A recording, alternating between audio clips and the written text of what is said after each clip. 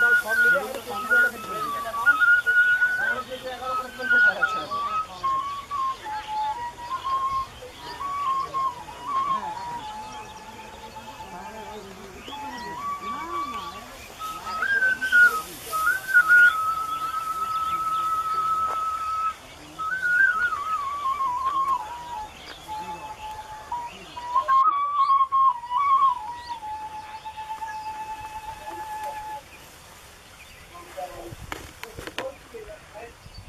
এটা রায়গঞ্জ ব্লকের মধ্যে পড়ে, ভট্টদিঘি জায়গাটার নাম। আমরা এখানে এটিসি ফুলিয়া থেকে আমরা প্রায় বারো রকমের ধানের প্রজাতি এবার নিয়ে এসেছিলাম। তার মধ্যে দশ রকমের আমরা ঠিকঠাক করতে পেরেছি, দুটো আমরা মিস করেছি আর কি। তার মধ্যে যে এই যে পেছনে দেখছেন, এটা হচ্ছে কালো ভাত। সামনে, আমার সামনে এটা কনকচুর, ওদিকে বহুরূপী, কেরালা সুন্দরী এই ডান দিকে দেরাদুন গন্ধেশ্বরী তুলসী মুকুল এইটা হচ্ছে এই দিকটা আছে হচ্ছে কি যেন এটা ছিল? বেগুন মঞ্জুরি বেগুন বেগুন মঞ্জুরি, সাথিয়া হ্যাঁ। আছে। সাটিয়া সাটিয়া আছে। মহিপাল আছে। হুম। এই সবিতা আছে। সবিতা আছে। তারপরে ওইখানটা আছে হচ্ছে কি- শাল জানো ছিল? কেশব সাল। কেশব শাল আছে, ছিল কেশব শাল এই মোটামুটি এতগুলো আছে তারপরে আরও আরেকটা জায়গা আমাদের অন্য আরেকটা জায়গা তো আমাদের আরেকটা জায়গা তো করা হয়েছে। কেন এটা করছেন? সেটা আমাদের মূল ইয়ে ছিল যে আমরা এতদিন ধরে তো এইখানে এইখানে হয় স্বর্ণ বা যা হাই ইল্ডিং যে সমস্ত ভ্যারাইটি সে সমস্ত চাষ করা হতো। কিন্তু তাতে যেটা মূল সমস্যা হচ্ছে যে জমির অবস্থা। আমরা যেটা লক্ষ্য করেছি এত এত পরিমাণ তার খরচ বাড়ছে প্রতিদিন খরচ বাড়ছে। রাসায়নিক সার দাও তাও কীটনাশক দাও তারপরে প্রচুর জলের ইয়ে মানে জলের লাগে। এই সব মিলিয়ে দৈনন্দিন যে খরচ, যে চাষের উৎপাদন খরচ উৎপাদন খরচ প্রতিদিন বাড়ছে এবং এই বাড়তে বাড়তে সেটা আমাদের ক্ষমতার বাইরে চলে যাচ্ছে। সম্ভব না এই হাইলিং ধান করাতে। এবার সেই কারণে আমরা যদি, এবং সঙ্গে সঙ্গে যেটা মূল, আরও যেটা বড় সমস্যা সেটা হচ্ছে জমির ক্ষতি। জমিটা এত বদলে যাচ্ছে মানে এত উর্বরতা মানে হ্রাস পাচ্ছে, যেটা যে আগে যে হাইলিংটে যে যতটা পরিমাণ চাষ হতো আর কি, সেটা দেখা যাচ্ছে রিসেন্টলি সেটা হাইলিংয়ের পরিমাণ কমে যাচ্ছে, অনেক কমে গেছে, অনেক কমে গেছে।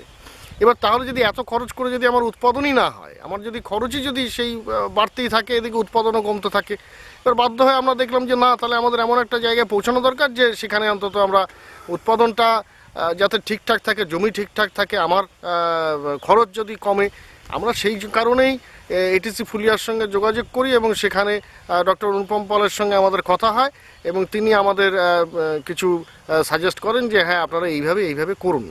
এবং তার এই যে পুরোটাই এবার জৈব পদ্ধতিতে করা হয়েছে এবং আমরা তরল সার, আমাদের এই যে যা ধান দেখ- দেখছেন আপনারা মানে দেখা যাচ্ছে সেখানে পুরোটাই কিন্তু তরল সারে করা। এখানে কোনো কীটনাশক ইউজ করা হয়নি, কোনো রাসায়নিক সার ইউজ করা হয়নি এবং আমাদের মূল ছিল কীটনাশক হিসেবে আমরা ইউজ করেছি, সেটা হচ্ছে গরুর চোনা। এবং গরুর চোনা দিয়ে আমরা সেটা বানিয়েছিলাম বানিয়েছিলাম তরল সার। সেই তরল সারের সঙ্গে আরও অনেক কিছু ছিল আর কি। তরল সার বানানোর যা যা পদ্ধতি ডক্টর পাল বলেছিলেন আমরা সেটা মেনটেন করেছি। আর আর এখানে এটা দেখে স্থানীয় কৃষকদের হ্যাঁ, এর মধ্যে যেটা সেটা খুব আমাদের যেটা আনন্দের খ- মানে কথা যেটা আমরা আমরা খুব উৎফুল্ল এবারের মানে উৎপাদন দেখে এবং সব থেকে আরও দারুণ মজার ব্যাপার যে বিশেষ করে কয়েকটা ধান বহুরূপী কেরালা সুন্দরী তুলসী মুকুল এর চাহিদা মানে আশেপাশের কৃষকরা তো এবার তারা আগামীবার যারা তারা করবেন বলে অনেকেই বীজ চাচ্ছেন আমাদের কাছে। এইটা আমাদের কাছে খুব আনন্দের ব্যাপার।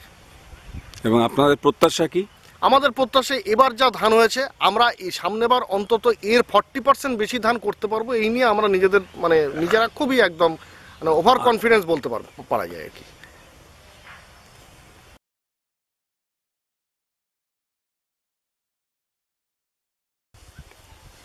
আমার নাম পারুল বেগম। ধান লাগিয়েছি। এটা কোন গ্রাম? ভট্ট দিকে রায়গঞ্জ ব্লক। রায়গঞ্জ ব্লক। ধান যখন লাগাইছি একটা একটা করে গাড়ছি। পাড়ার মানুষ বলছে যে আমাদের কি তুই পাগল হয়ে গেছো? মধ্যে একটা একটা করে ধান লাগা জমিটা নষ্ট করে ফেললে।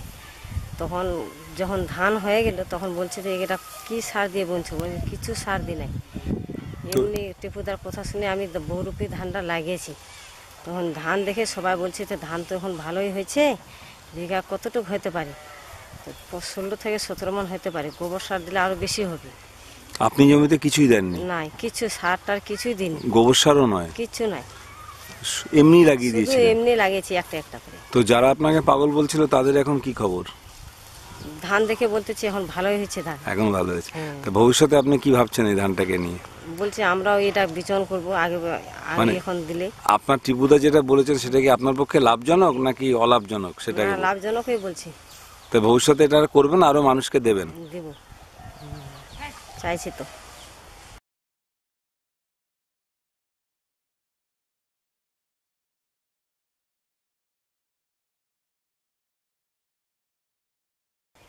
আমরা এখন দাঁড়িয়ে আছি ভট্টদিঘি গ্রাম রায়গঞ্জ ব্লক। এখানে ধান চাষের যে তুলনা সেটা আমরা দেখাচ্ছি। আমার ডান হাতে যে শীষটা রয়েছে এটা কেরালা সুন্দরী। আর আমার বাঁ হাতে এই কৃষকের জমি সেটা হচ্ছে হাজার বিশ। আমি এখানে দুটো শীষ নিয়েছি একটু লক্ষ্য করুন। এখানে দুটো শীষ রয়েছে। এখানে দুটো শীষ। হুম। অথচ এই কেরালা সুন্দরী ধানের একটা সমান, এটা আপনারা লক্ষ্য করুন। এই কেরালা সুন্দরী কিন্তু কেরালার ভ্যারাইটি নয়, এটা পুরুলিয়ার একটি নির্বাচিত ভ্যারাইটি এবং এর ফলন, দেশি ধান, এর ফলন কিন্তু হেক্টরে ছ টন হয়।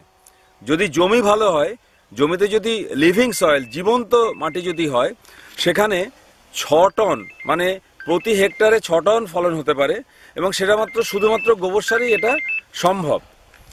আর এটা কিন্তু দেখুন, আমাদের আধুনিক জাত, সিয়ার হাজার কুড়ি। এতে প্রচুর রাসায়নিক সার দেওয়া হয়েছে, প্রচুর বীজ দেওয়া হয়েছে।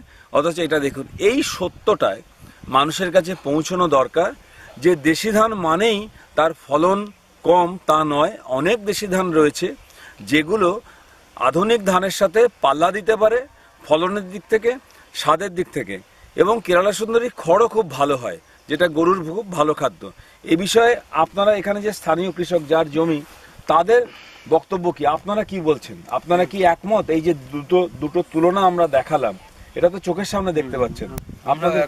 দিক দিয়ে কেরালা সুন্দরী বেশি দেখা যাচ্ছে। এবং এটা কিন্তু পুরো জৈব সার দিয়ে করা হয়েছে। হ্যাঁ এটা মানে ডাবল সিস কিন্তু তাও মনে হয় আরেকটা সিস দিলেও সমান হবে। তার মানে তিনটে সমান একটার কথা বলছেন আর কি। এটা নিজের চোখে দেখে। এটা আমাকে নতুন করে কিছু বলতে হবে না। আপনাদের সামনেই দেখানো হলো।